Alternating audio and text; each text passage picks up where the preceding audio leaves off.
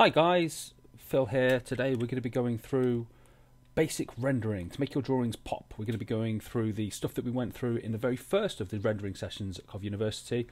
Um, if there's anything that you missed, if you drifted off or fell asleep midway through my session, then you will be able to recap here. I'm going to be doing a whole load of screen caps like this. We're going to be going through the stuff that we did in the sessions just to um, give you guys a chance to see it all one more time in your own pace. I'm um, going to be working in Photoshop CC, so it should be the same as, broadly speaking, Photoshop 5. Most of the key combinations that we're going to be going through should be exactly the same. I've actually got a screen set up so that when I click on the screen, you'll be able to easily see it. If that's working, it doesn't appear to be. It should be. And when I press the key combinations, then they will appear upon screen. So the first thing I'm going to do is start working with this drawing that we had um, in play in the last session, which is a um, ghost trap from Ghostbusters that I've taken a photo of, scanned in, bought into the um, system. So we're just going to very, very quickly go through the stuff that went through in the very, very first session, which is to prep this and get it ready for um, for usage. So what I'm going to do is pop the background layer out from the JPEG, um, make it into its own independent layer, and re remember that you've got to make sure everything has got uh, pimping title so you can keep everything tightly organized. I'm going to desaturate the image. Adjustments desaturate just here. It makes a very little difference on the screen now, but uh, later on, once we're working with colors, that's going to be something that's really important to use. Next, I'm going to make uh, levels adjustment layer. You can see this histogram here indicates the pixel density for each of the different brightnesses.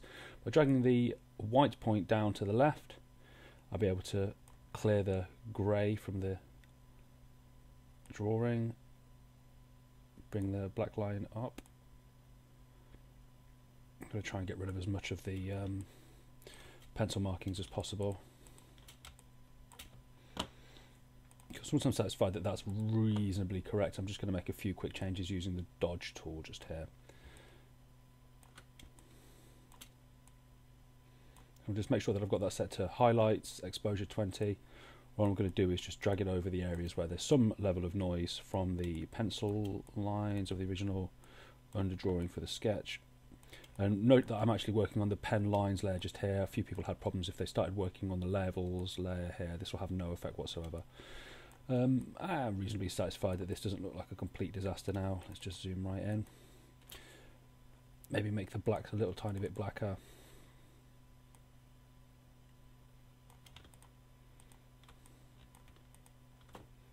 Clear up a bit of this mess just here.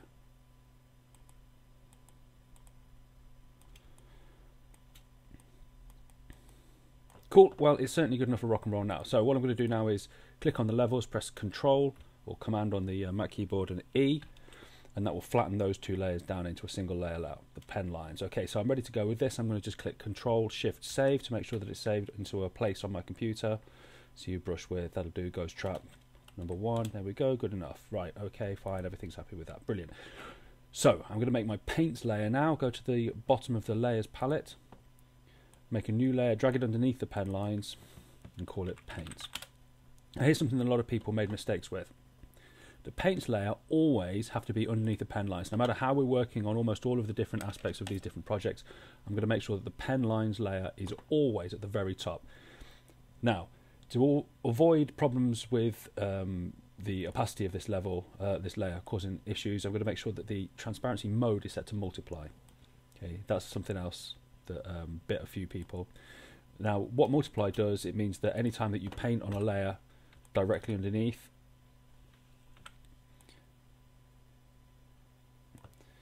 the uh, the black or the dark colours are retained and the whites are rendered transparent. So you notice that I'm moving around the document by holding down space on the keyboard, switches over to the um, the moving, moving hand. If you press um, space and control, I think it is on the PC, space and command on the Mac, you can either zoom in or hold down Alt and zoom out. Or if you just hold hold and space, hold and space, flip it, space and control and click and drag left and right, you get this scrubby zoom which is a really useful way for moving around the documents. The only reason I tell you this is because you'll save yourself a lot of time rather than doing what a number of people I've seen doing, which is using the key controls or just zooming in and out single increments. So we've got the paints layer made just here. I'm going to make sure that the colour palette just here is set to grayscale. Pick out 35 or 40% grey. So we're only going to be using a single colour grey today, and we're also not going to be using the brush to do the filling in. Just to, in order to block out as much of it as possible, I'm going to select the polygonal lasso tool, which is this one just here. And make sure I've got the paint layer selected.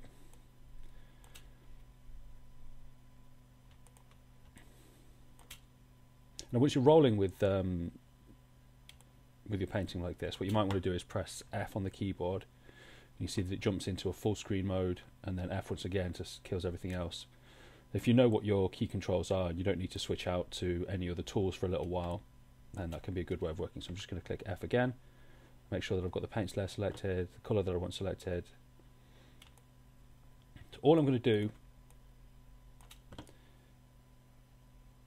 is look at an outside surface. So remember, I'm thinking about where the light is coming from. It's coming from around about up here down here and it's going to cast this whole side into shadow. Now we're going to make a few concessions to our main goal, which is not to necessarily realistically convey exactly where all the shadows are going to be, but to convey what shape this object is. But what I'm going to do for now is very quickly block and select the outline of this shape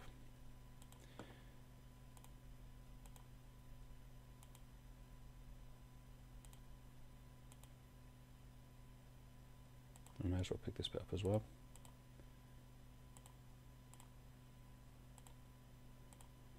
So I've closed that shape and now you can see it's selected with the marching ants running around the outside.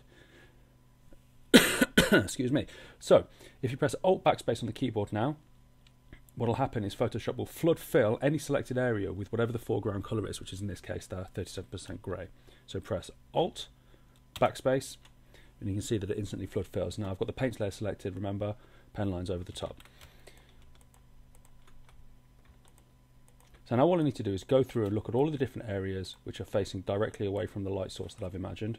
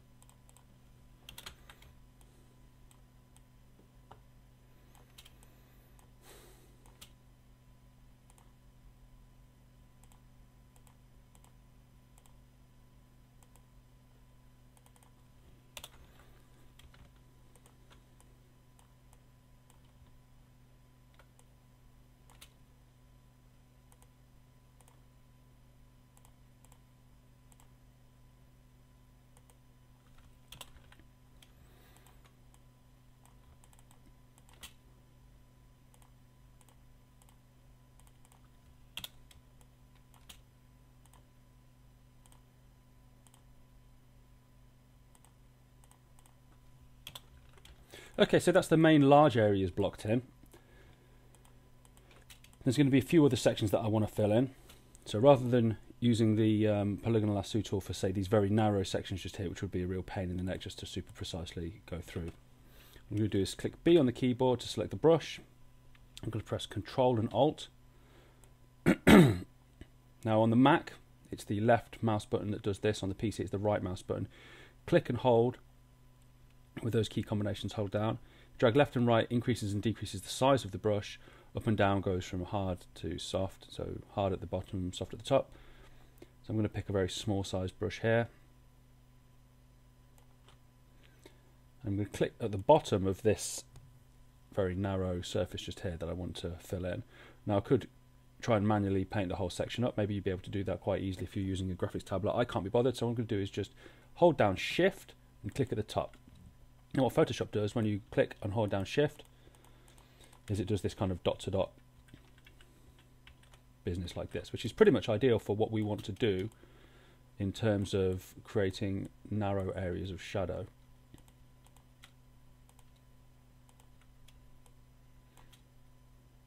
Now, if you remember my talking about this, the, the main reason for wanting to do this particular technique is to not necessarily create a particularly realistic impression, but simply to give a little bit of extra information to anybody who should be looking at this sketch compared to using just the um, just the original sketch. So already there's a certain amount of three-dimensional space being implied by the um, by the work we've done so far. So there's a few things that I want to block in. There's a few little extra sections that I want to add in. I'm just going to add some shadows in down here in a minute. Um, one of the things that is worth taking into account whilst you're working on documents like this is the certain visual cues. I'm just going to reduce the um, spacing on this.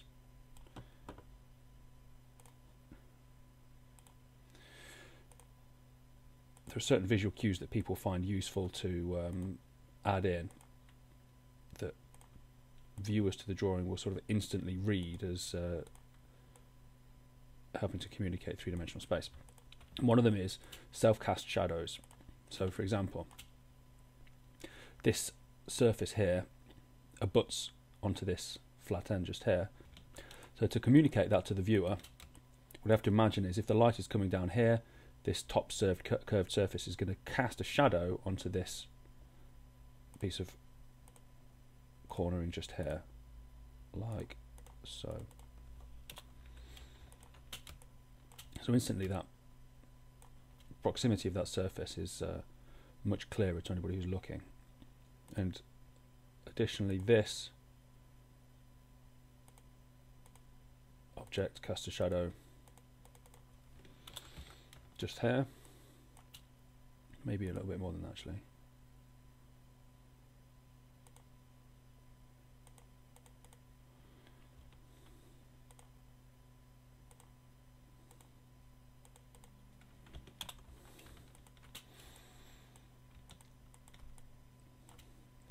and it's worth looking through your doc, your drawing, trying to find areas where you can use this kind of self-casting shadow. So, for example, the edge just here is going to cast a shadow down here.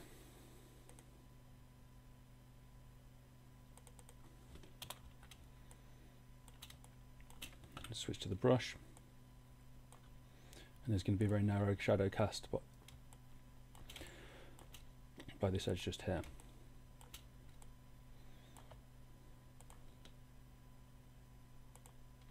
This section down here is going to be in shadow, as is say the top of the wheels, for example.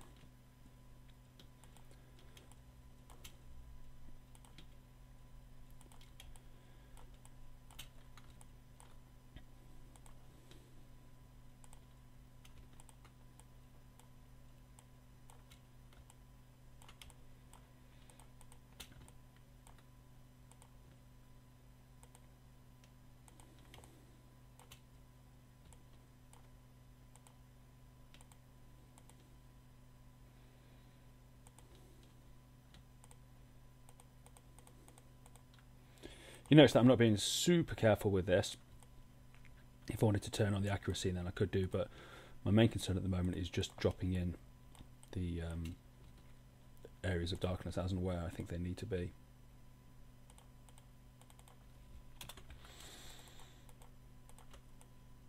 So a lot of this geometry that's around this section just here has been much better defined now by the simple expedient of adding those self-cast shadows on.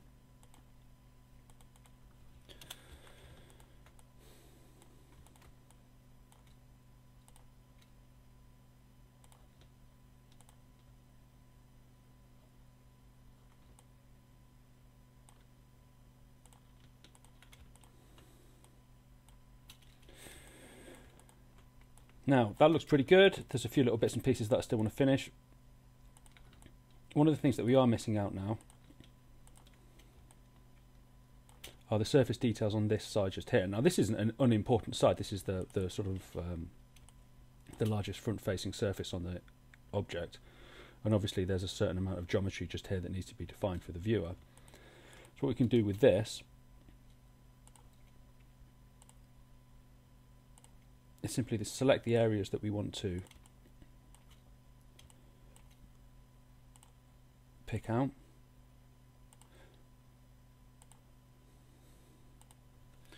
And click the backspace button to delete the shade.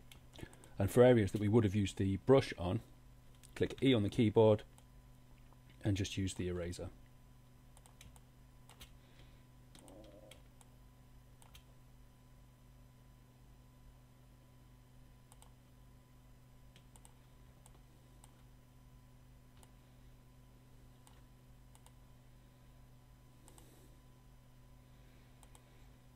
Again, it's not about being supremely accurate. I'm going to quite crudely add in some of these details, but the most important thing is just to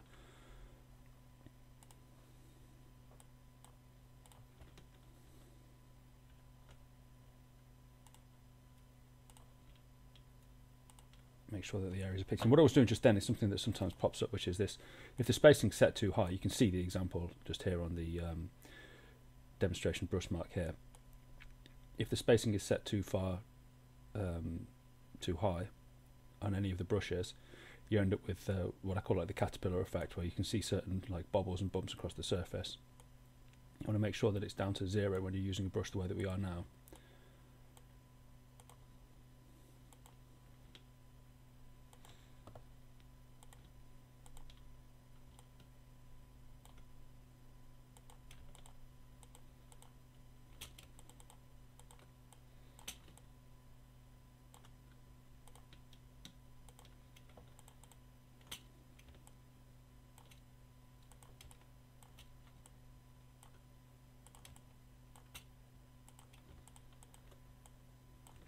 So I'm just going to finish up some of these little bits now.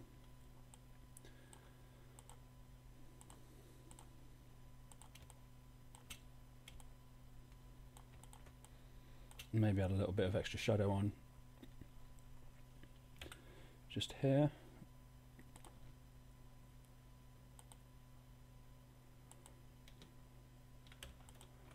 to help communicate this uh, this line.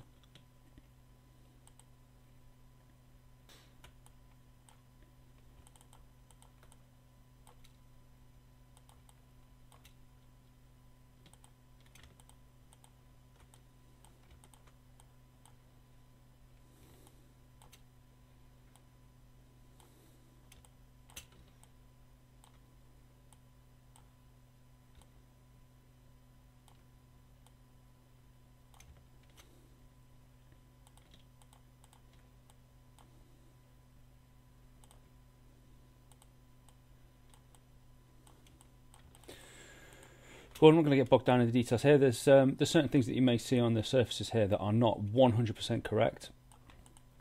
Maybe small um, errors if you want to be finicky about some of the details. But the uh, the main concern with working like this is not, as I said before, in producing something that's a sort of perfect technical surface, but in blocking out the broad swathes of the detail, which I think I'm satisfied we've we've managed to do here.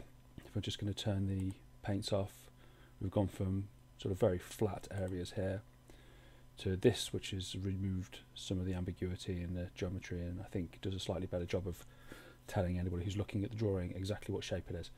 And like I said before the, the main concern with working like this is to work pretty fast. Where this really comes into its own is when you've got a whole screen of documents that look like this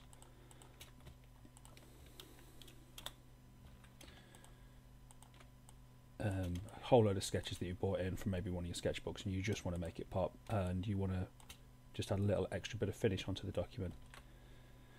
And, um, and that's how you go from this to this.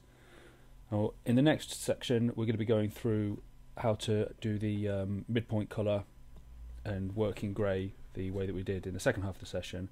So if you join me in a completely different section of this YouTube video, um, then I'll show you that and we can do the next awesome bit. I'll see you then then. Goodbye.